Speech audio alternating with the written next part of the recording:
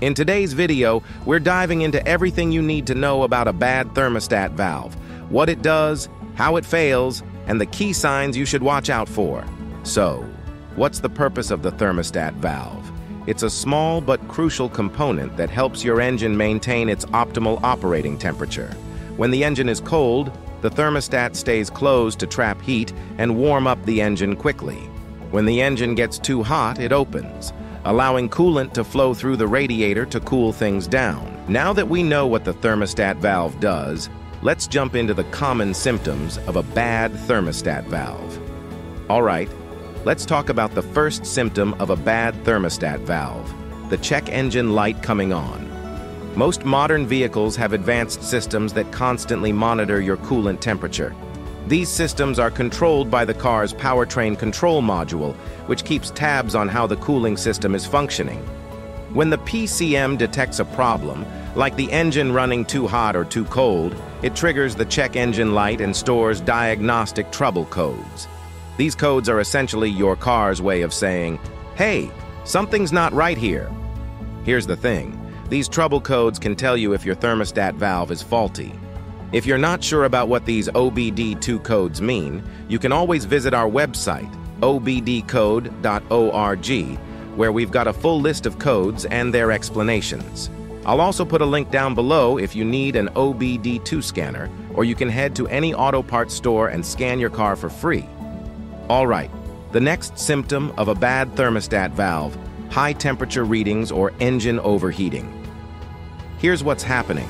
If the thermostat valve gets stuck closed, it won't allow the coolant to circulate through the radiator. This means the heat generated by the engine stays trapped, causing the temperature to rise dangerously. Your car's temperature gauge might shoot up into the red zone or flash an overheating warning light. Ignoring this can lead to serious damage, like a blown head gasket or even a warped engine block. Now, let's talk about one of the most noticeable signs of a bad thermostat valve. Your engine not heating up properly when it's cold outside.